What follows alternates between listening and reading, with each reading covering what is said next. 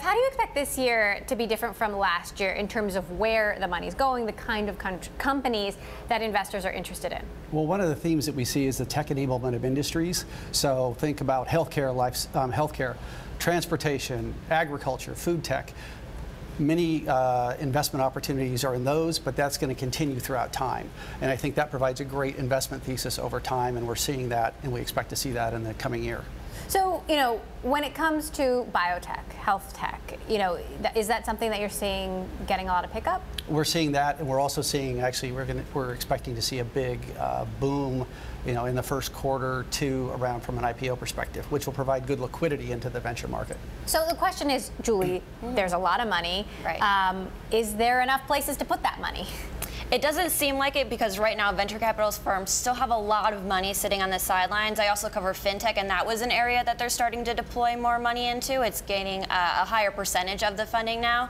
But again, they, it's it's hard to find places to put that in. Healthcare is seeing a lot more, fintech, and then of course if Uber or Lyft stay private for longer, then they're going to command more financing rounds too. How does you know SoftBank and, and you know that amount of money, Jeff, change the landscape? Well, it's you know, it's interesting. You know, anytime you have that amount of money move in, and some of the rounds that we've talked about. The interesting thing is, I think you take a step back and you look at this is a, I think, a result of you know a zero interest rate environment because investors are now having to seek more risk to, to find yield, and now we're starting to see that come to come to roost. And so, uh, it's never been less expensive to start a company, yet it's been never more costly to break away from the pack. And so we've seen, in a research we did, we found that the number of venture-backed startups in the United States tripled in one venture generation. So from the end of two, in 2003, it went from 6,000. Now we have over 18,000 venture-backed companies. Do you think ICOs will be an alternative way for startups to raise?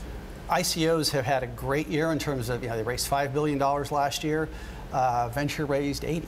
Um, so I don't think it replaces venture funding. It may provide a place, but I think in the near term you're going to see increased regulation to provide investor protection, which I think is a good thing.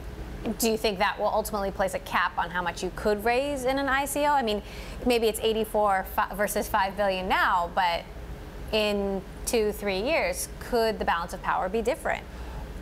It's in, well, in its current form, most of these ICOs, the analogy I use is it's like you're buying frequent flyer miles for an airline that hasn't that has no routes and has no airplane built yet. Because really, you're being you're talking about buying coins to use on a service that's going to be built, and really the value that has been there is the idea that it's always going to go up.